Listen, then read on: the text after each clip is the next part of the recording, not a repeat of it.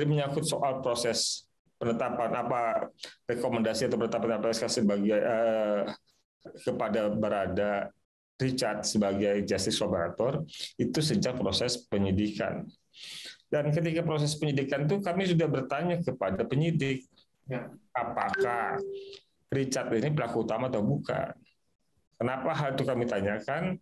Karena di Undang-Undang Perlindungan Saksi dan Korban di pasal 28 ayat 2 yang mengatur secara khusus tentang syarat justice collaborator itu eh, memang tidak memungkinkan atau uh, justice collaborator JC itu tidak bisa bagi pelaku utama. Oke. Okay. Ya. Jadi JC itu tidak bisa bagi pelaku utama, utama sehingga kami tanyakan hal itu pada penyidik gitu loh kami dapat konfirmasi dari penyidik bahwa Richard bukan pelaku utama. Gitu.